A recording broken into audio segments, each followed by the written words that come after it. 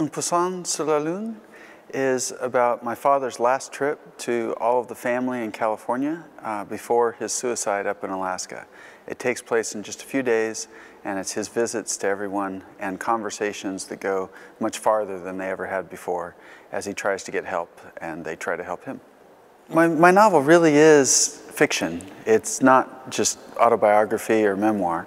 Uh, my father did have a last trip to all of the family at the end and then did go to Alaska to kill himself. Uh, and I use all of the details of the real places, like my grandparents' house.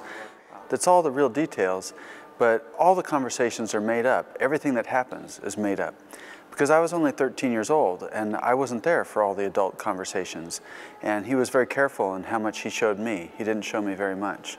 Um, and I didn't interview my family to try to make it accurate. I wanted to push the characters to talk with each other. They're put under pressure and they can't escape and find out what surprises were there, what might be revealed. Um, my grandfather, for instance, says a lot in this book, and in real life he never said anything. After my father's suicide, he just never talked to anybody. So this was his chance to finally speak. One thing my father felt at the end is that he could not re-enter his life to, to live it unconsciously. He couldn't live his life without being removed from it and thinking about it and watching it. And he also, at the same time, was just uh, totally out of control in his emotions. He could cry at any time. It felt like his emotions were these, you know, muggers that would get him from behind.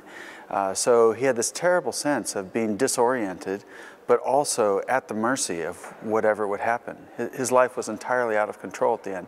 And I could write about it partly because I felt exactly those same things after his suicide. I felt that all meaning was blown out of the world. I felt I couldn't re-enter my life to live it. I was just watching it and it meant nothing. And I could cry anytime. I couldn't go to school for weeks because I just felt so out of control. Uh, so yeah, it's strange that I felt the same things afterwards that he felt before.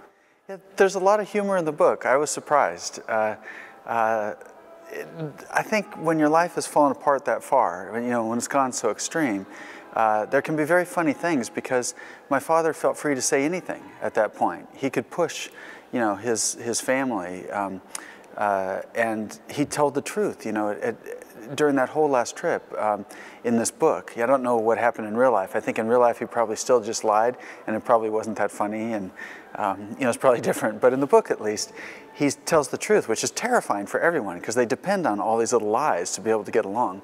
And so there's some very funny moments as he pushes far and says exactly what he's thinking and, and the responses. Um, so I enjoyed it actually. I, part of it was very hard. It took twice as long to write this book as my others um, because I struggled through it, uh, through thinking about his last you know, days and his despair.